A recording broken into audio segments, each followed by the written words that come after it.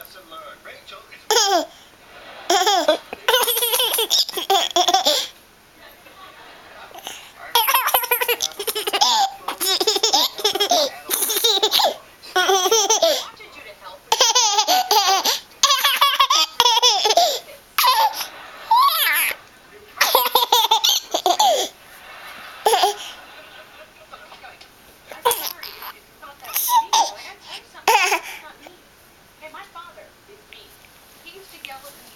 Really? Right now.